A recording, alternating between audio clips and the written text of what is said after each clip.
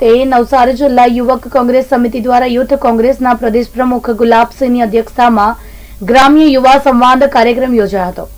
Social distance સાથે યોજાયેલા યુવા કોંગ્રેસના સંવાદ કાર્યક્રમના પ્રારંભે હાથરસમાં સામૂહિક દુષ્કર્મ ભોગ બનેલી વાલ્મીકી સમાજની દીકરી મનીષા માટે બે મિનિટનું મૌન પાડી શ્રદ્ધાંજલિ અર્પણ કરવામાં આવી હતી.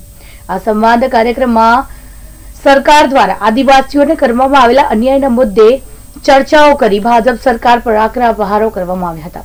આ કાર્યક્રમમાં વાંસદા ચીખલીના ધારાસભ્ય અનંત પટેલ તથા નવસારી જિલ્લા યુથ કોંગ્રેસના પ્રમુખ રાજીત પાનવાલા અને વાંસદા તાલુકાના યુથ કોંગ્રેસના પ્રમુખ નિકુંજભાઈ તથા વાંસદા તાલુકા પંચાયતના પ્રમુખ પ્રભુભાઈ દેશમુખ સહિતના કાર્યકર્તાઓ હાજર રહ્યા હતા.